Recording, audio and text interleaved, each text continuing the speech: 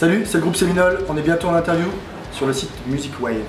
Voilà, on va vous présenter notre nouvel album, c'est Wayward Son, un concept sur Hamlet.